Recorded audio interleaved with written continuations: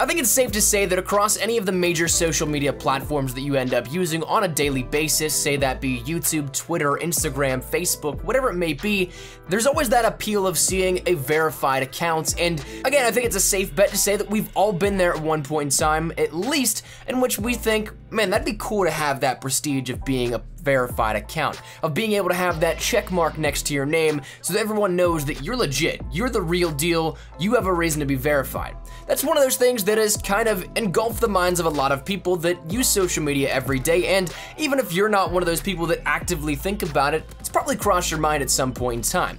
Now, the cool thing with Call of Duty World War II is that as of recently, we found out that this can actually happen in game. This can have your gamer tag, your PSN ID, or your Steam ID on PC PC you can have this verified within Call of Duty World War II. Now, this is something that doesn't necessarily follow the same parameters as a normal social media account, simply because this one is probably a little more trivial compared to the standards that need to be met for, say, Twitter, Instagram, YouTube, Facebook, all those kind of other different places. They're looking for validity to keep somebody's identity protected in the sense that it's them acknowledged as such. But in Call of Duty World War II, we found out as of recently that social social score can get you verified within Call of Duty World War II. So today in this one, we're talking about just how this happens and potentially how you could maybe get to that a little bit faster if that's something you so want to set out for within the game. So interestingly enough, this actually stems from a little bit of a discussion and theory that's gone around the community since launch because there was mention in some vague mannerism of wording from Condrey about social score potentially affecting the contents of your supply drop. So Essentially, the theory and conspiracy behind this went that the higher social rank score you got, the better supply drops you'd end up getting. So theoretically, let's say you're the top rank in social score, which, as from what I've seen detailed, is a social score rank of 20. That maybe guarantees you a couple more heroic weapons or outfits compared to somebody that is a level 5 in social score. That's how that theory went, and for the longest time, a lot of people bought into it. But Condrey put this to rest over on Twitter probably about a week ago at this point in time time. I know I'm late to the actual topic, but I want to discuss a little bit further than what some other people may. Condrey ended up saying that social score does not affect your supply drop loot.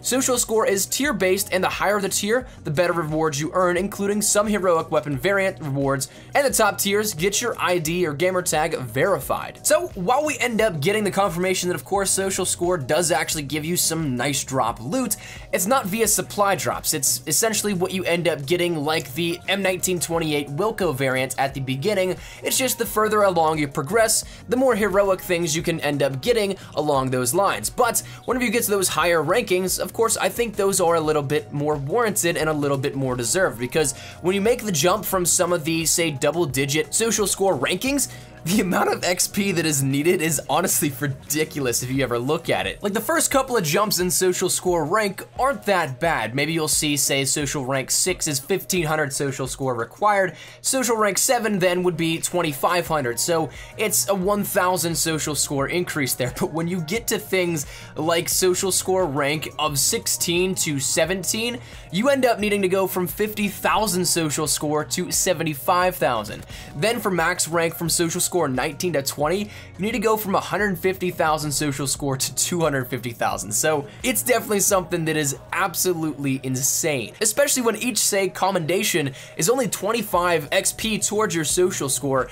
It takes forever to rank up. So it's something that definitely is a grind and a process, but whenever you end up getting to those, of course, it does reward you accordingly for some of those. But that said, it doesn't actually affect your supply drop loot, but it does give us the idea that a verified gamer tag is out there. Now, Reddit user lacking a good name actually was the one that brought this up in its entirety because he ended up digging up the exact social score ranks and rewards in World War II, and the max, once again, being of 20, seems to be where we hit that verification process within World War II. And it's something that probably progressively, while it is going to be absolutely insane to hit, it might be something where people can progressively, as the year goes on, get more and more into that verified program of World War II. So it might start out exclusive at first, but then say maybe by the very end of the year, a lot of people will be verified on those leaderboards and their gamer tags as well that you can end up seeing in game. But as it stands right now, let's go over the last five here because this is where I think in our last video talking about social score ranks and rewards, we didn't end up getting up to these points because not everybody had them and nobody got the game code just yet, but these ones are dug up directly from the game code, so they should be accurate and what exactly you get.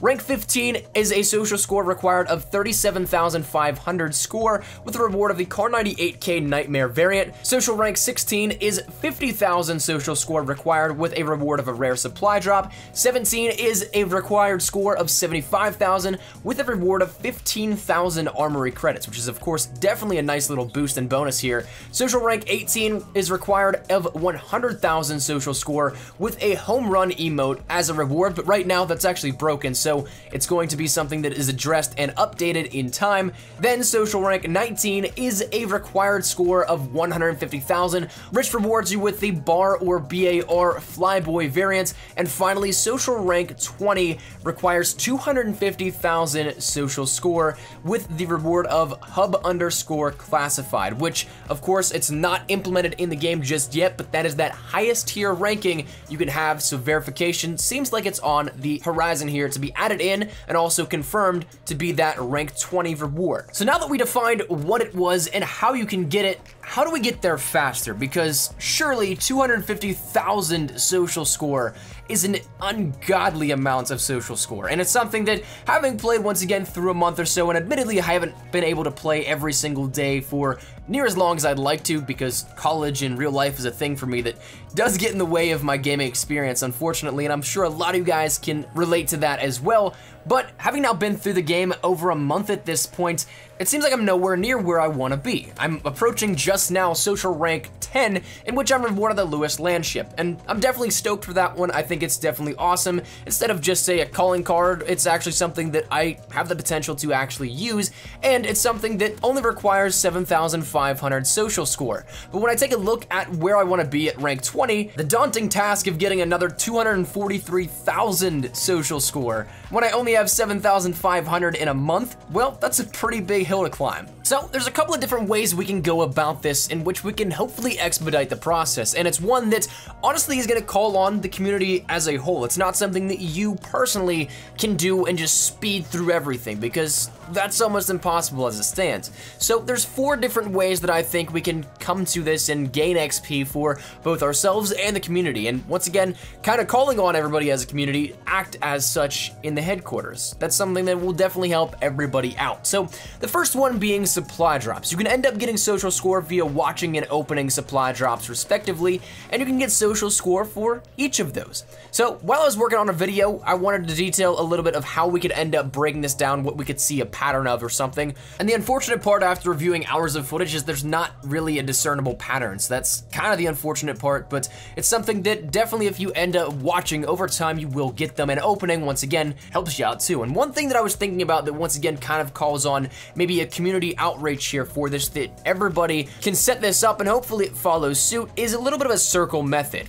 Now I actually thought about this a long while ago and honestly it was kind of perfect because I logged into headquarters today just to try and get some b-roll footage and the first thing that I saw was almost a complete variation of what I had envisioned in my mind and it's perfect because you can end up going to right around the quartermaster that designated flat area and maybe open supply drops in a circle. That way people that can't open them are in a little bit of the center and can watch everybody at one time because by watching them, it is something that is proximity based. That's one thing that I did pick up on. So with everybody being in the same general vicinity, those opening them can get them while getting credit for opening and watching at the same time, and those that aren't can be there watching multiple at once to speed up that process. Sort of like a rapid fire cannon for gaining social score. So while it might be an ideal situation, if you can, try and set it up. Try and open your supply drops in a crowd of people with as many as possible, just so everybody can benefit. And if you're somebody that believes in karma, well, then by doing good there, maybe it'll in turn come back and help you out as well in the future. The next thing though is commending players. And again, this is one that really needs to be a community effort because there's a lot of people that do commending, but also a lot of people that are AFK. And while I understand the AFK situation, a lot of people just won't commend back. So if you can commend for commend, once again, hopefully putting out those positive vibes in the world. It's unfortunate that not everyone will do it. And someone on Reddit actually tallied the amount of commends they gave versus how many they they got, which was 960 given to 123 received, but if we can blow this up about how to do this as quick as possible and make it a community-wide effort, it'd be amazing to see a day where everyone is commending each other just back and forth, and everybody's getting that social score that they need. Now the final thing that really is sort of an organic way to do this is via orders. Some orders, while not many, do offer reward and social score, and while it's once again not something that really gives a lot, anything really helps when you're trying to go for that grind goal. Some things, like the simple ones of the target range order in which you have to shoot 10 targets in 10 seconds, those take literally 10 seconds to complete, if not shorter. So just hop on those if you have the chance and try and boost it as much as possible. But ultimately, it comes down to making the sacrifices in game because you're gonna have to stay in headquarters for a long time. You're gonna have to sacrifice the time that you could be grinding your multiplayer rank, and if it's something that you definitely want to do, you gotta pick and choose which one is more valuable to you.